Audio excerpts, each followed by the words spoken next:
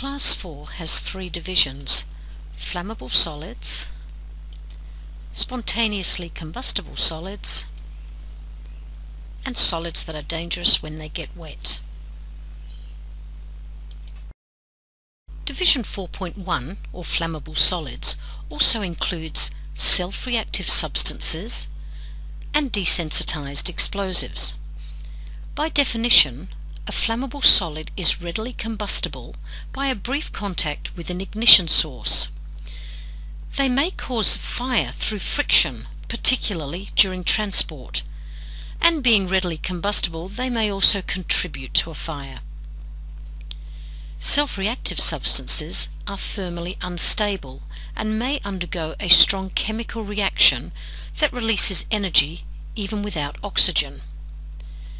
Desensitized explosives are wetted explosives.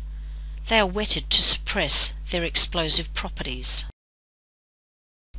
Examples of Division 4.1 are sulfur, magnesium, naphthalene, and safety matches. Division 4.2 includes pyrophoric substances, and self-heating substances.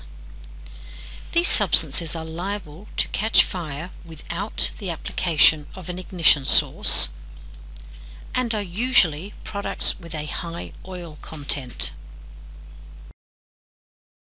Examples of Division 4.2 include carbon, cottonseed, copra, which is the dried meat from coconuts, and also carbon paper.